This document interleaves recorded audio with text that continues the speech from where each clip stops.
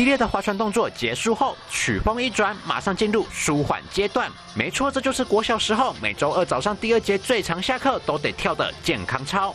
但你知道现在所播放的健康操其实是民国九十三年之后的新版本吗？在更早之前，还有阿公阿妈们所熟悉的国民健康操版本呢。新北市配合教育部，将每年八月的第四个星期日定为祖父母节，十七日于新庄的昌平国小提前庆祝。新北市长侯友谊也到场与大小朋友一起大跳新旧版本健康操。看到孙子开心，阿公阿妈买欢喜，所以阿公阿妈和孙啊都会到底胜，这会到底运动，其实让我们生活更增添乐趣。